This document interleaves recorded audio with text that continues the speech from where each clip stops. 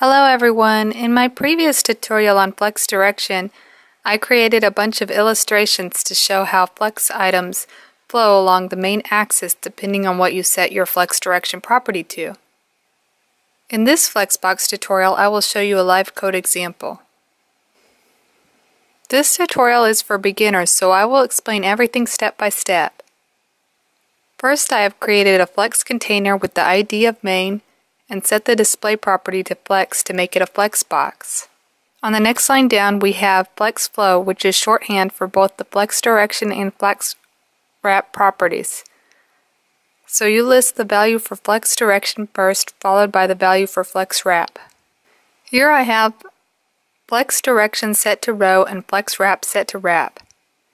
Below the main container I have created three flex items. Here in the body you can see that the three flex items are contained within the main container because flex items must be children of the flex container. Our flex direction is set to row. Let me show you how the flex items appear in live preview.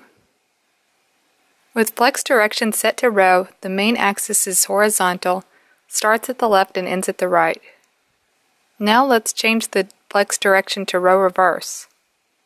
With flex direction set to row reverse, the main axis is horizontal, starts at the right and ends at the left.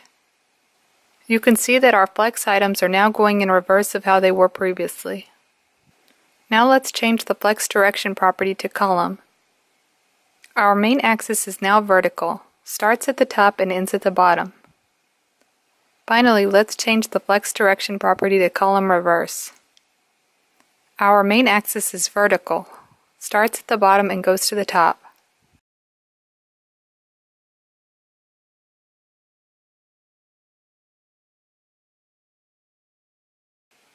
Thank you for watching this tutorial on Flex Direction.